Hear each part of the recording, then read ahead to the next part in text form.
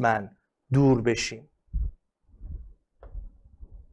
چهارم که گفته حجوم دشمن با تمام تجهیزات جنگی آغاز شده با تمام قوا به دفاع برخیزیم. ما اینجا قرار نیست دفاع کنیم. اتفاقا اینجا قرار آماده مبارزه بشیم و ما بریم به سوی مبارزه کردن با اونها. نه اینکه اونها بیان به سوی مبارزه کردن با ما. پس چهارم میره کنار. جواب به میشه گزینه چند؟ به میشه جواب گزینه یک. بریم یه تست دیگه ببینیم. خب. همه ابیات به جز بیت فلان با ابیات زیر قرابت معنایی دارد اینو به درس دادم. جهل و بیباکی. جهل و بیباکی منفیه.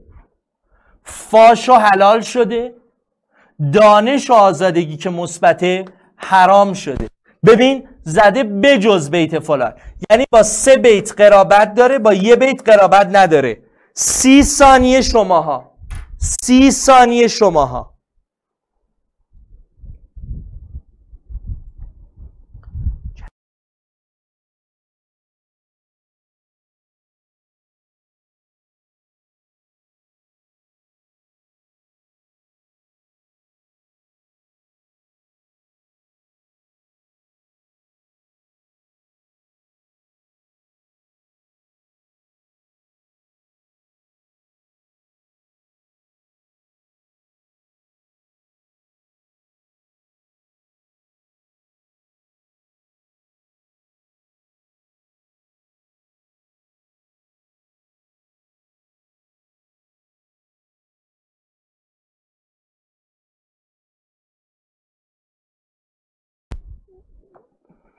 چتم بازه جواب گزینه جواب وای وای وای. باری کلا ماشالله ماشالله ماشالله سه. آین فرزانگان نهان شد نام دیوانگان پراکنده شد. هنر خار شد جادویی ارجمند شد. شده بربدی دست دیوان دراز دست دیوها که منفی بوده دراز شده. نیکی که مثبت بوده فقط یواشکی راجبش حرف می‌زنن جواب میشه گزینه سه. سه میگه به یزدان هر آن کس که شد ناسپاس به دلش اندر آید ز هر سو. هراس هر کسی که به خدا ناسپاس باشه از هر سو بهش حراس وارد میشه. اصلا ربطی به مطلبی که خوندیم نداره. بریم جلو.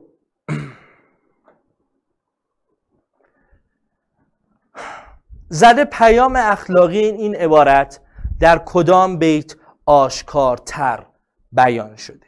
بریم ببینیم چه خبره.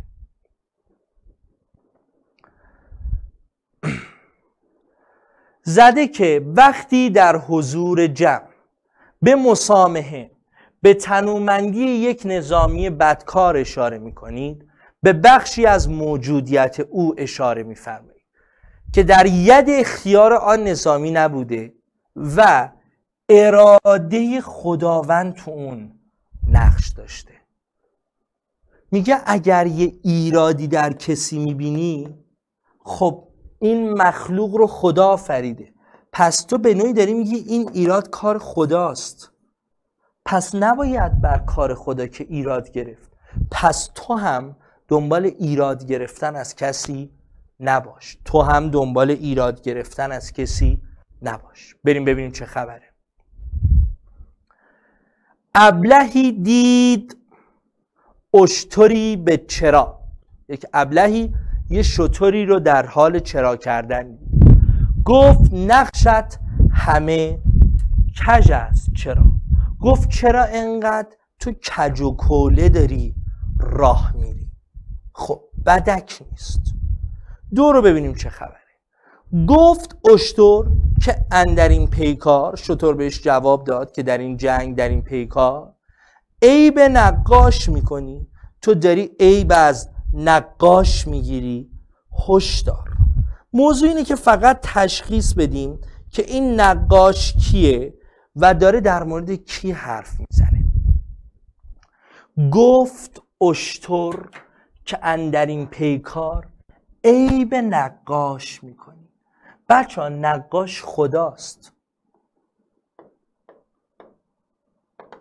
تو گزینه یک بهش گفت چرا اینقدر کج را میری؟ و این بهش جواب داد می‌دونی این کار تو یعنی چی؟